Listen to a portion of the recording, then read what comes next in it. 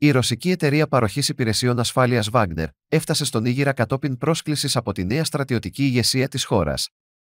Μια αρχική ομάδα συμβούλων και εκπαιδευτών της ρωσικής εταιρείας έφτασε προερχόμενη από το Μάλι, σύμμαχο του Νίγηρα. Το Παρίσι την ίδια ώρα δηλώνει ότι οι δυνάμεις που υπάρχουν στον Νίγηρα δεν πρόκειται να αποχωρήσουν.